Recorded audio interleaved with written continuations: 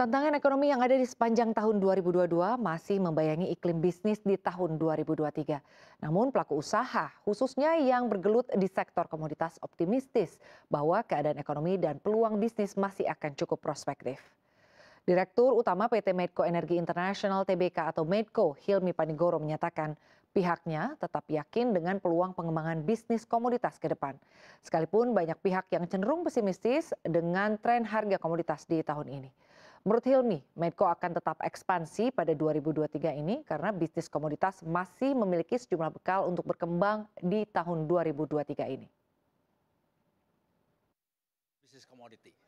Ya, jadi minat kita untuk ekspansi itu ditentukan oleh naik turunnya harga komoditi. Walaupun banyak orang yang agak pesimis soal komoditi, saya sih termasuk yang sangat optimis. Saya kira saya bukannya bilang gara-gara perang terus komoditi jadi bagus lalu kita senang nggak begitu sih. Because that, that is artinya kita bersenang-senang di atas alasan yang salah. Tapi menurut saya sih reboundnya ekonomi selesainya covid Cina mulai dibuka hilirisasi semua itu positif buat komoditi. Jadi buat Medco sih saya optimis dan kita akan expand terus